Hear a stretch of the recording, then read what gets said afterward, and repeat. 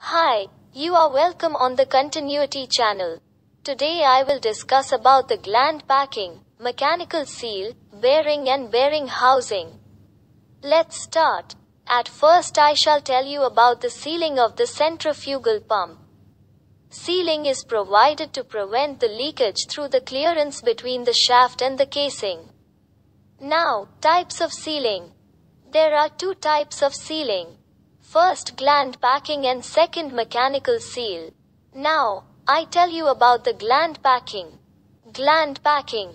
If the aim is solely to prevent leakage from the machine, it is effective to use a seal material known as gland packing on the shaft. However, a gland packing tightly wound around the shaft oppose the motion of the shaft, which leads shaft wear. In this figure, you are looking at gland packing. In the gland packing, asbestos, graphite or Teflon filled asbestos are used. Now, advantages. Low initial cost. Skill requirement low. Good for non-hazardous liquid. Can be used for static and rotary equipments. Disadvantages. Frequent attention required. Rapid wear of shaft or sleeve. Not suitable for high temperature and high pressure application.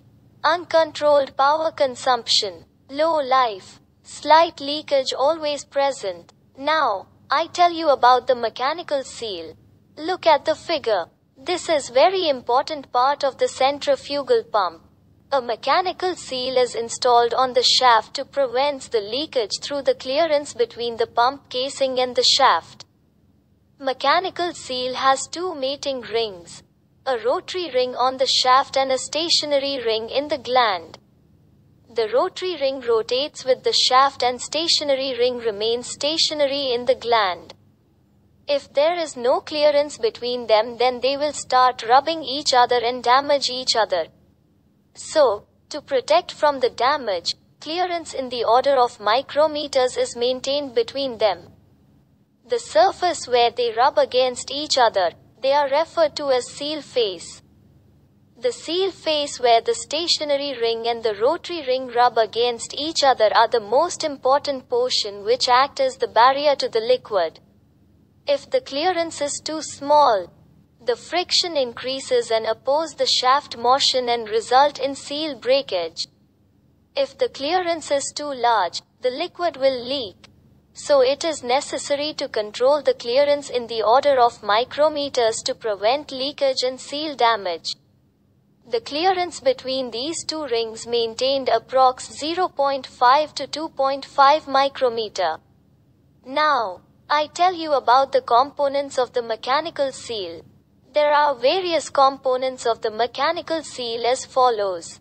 Gland, sleeve, rotary mating ring, stationary mating ring, O-ring. Compression unit, rotary assembly, spring, set screw, retainer. The material, of which they are made is given in front of them. Look at this figure. This is the details explanation of the mechanical seal. Now, know about the advantages of the mechanical seal. 10 to 15% power saving.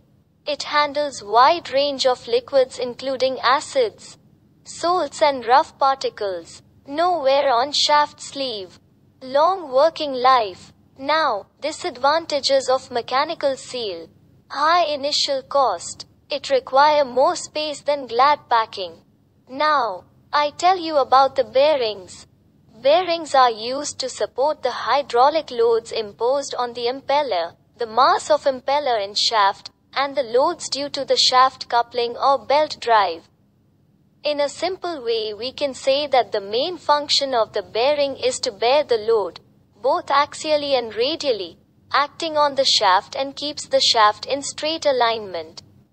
A little misalignment can cause failure, so it is important to select the proper bearing for the appropriate application. Here, you can see the arrangement of the bearings in the bearing housing.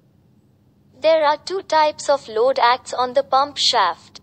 First axial load and second radial load. Axial load.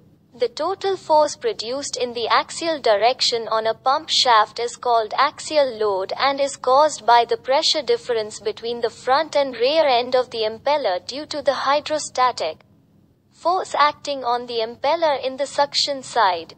To balance this load double angular contact ball bearing, double taper roller bearing, spherical roller thrust bearing are used. Look at the figure.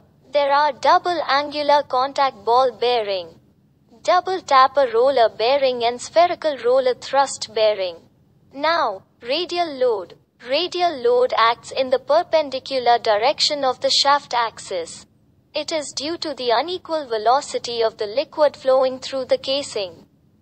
The unequal fluid velocity results in a non-uniform distribution of pressure acting on the circumference of the impeller. The radial load is most influenced by the design of the pump casing. To balance this load cylindrical roller bearing, spherical roller bearing, taper roller bearing set is used. Look at the figure. There are cylindrical roller bearing, spherical roller bearing and taper roller bearing.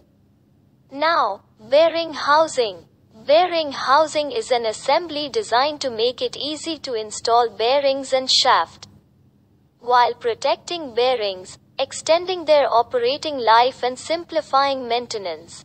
It is made up of gray cast iron, spheroidal graphite cast iron and cast steel.